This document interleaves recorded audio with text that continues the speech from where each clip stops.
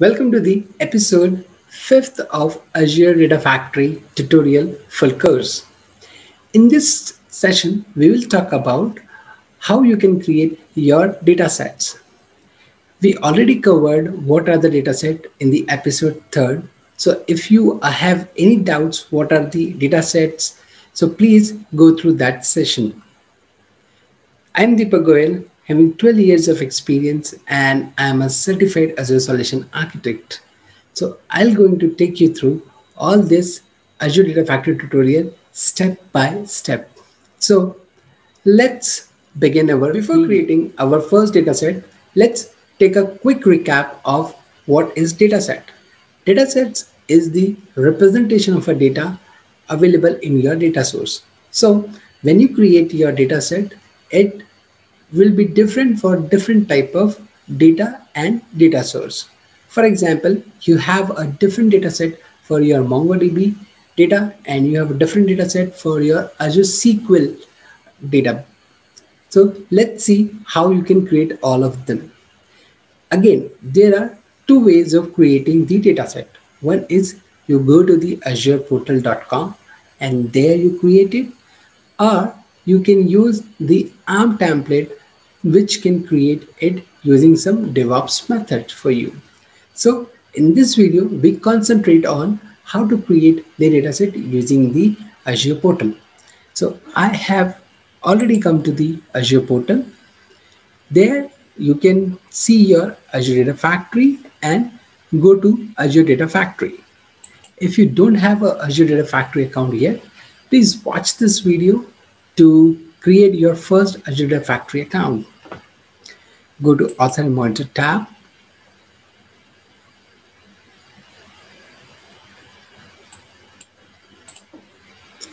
Again, here on the left hand side, you see a couple of tabs.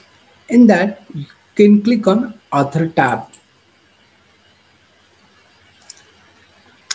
Here, just click on this plus sign. This will ask you to create whether you want to create a pipeline or data set or data flow or some power query. So as of now, we want to create a data set. So just select data set.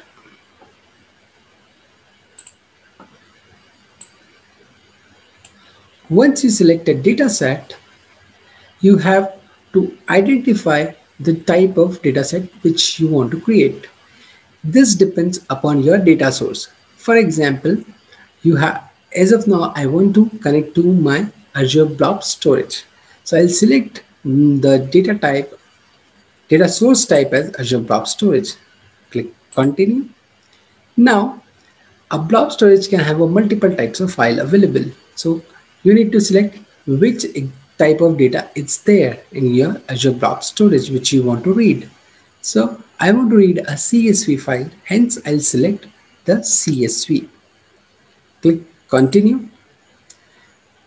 Then it will ask you to give the name of dataset. Just give the name Azure Blob dataset. You have to select a linked service because dataset cannot connect to your data source without a link service. So you need to have a link service which can connect to your Azure Blob Storage. We already created in our last video if you have any issues, just go back to that last video and create your link service. You can see it is available here. Just select. Now it will ask you the path. So just click on this folder icon. You will see your container. And in the container, I can see my CSV file. So I'm just selecting it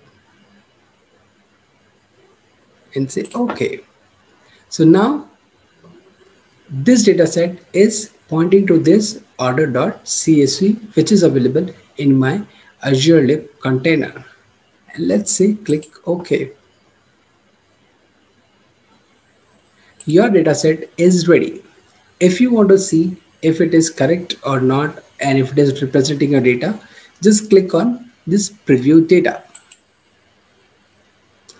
And you can see that my order.csv is coming here. You can see all those column and its values. Here are couple of options which you can set based upon your dataset type. For example, you want if your CSV is not a comma separated one, if you have different delimiter, you can set the delimiter type here. You can also set the compression type if you have a compressed file available.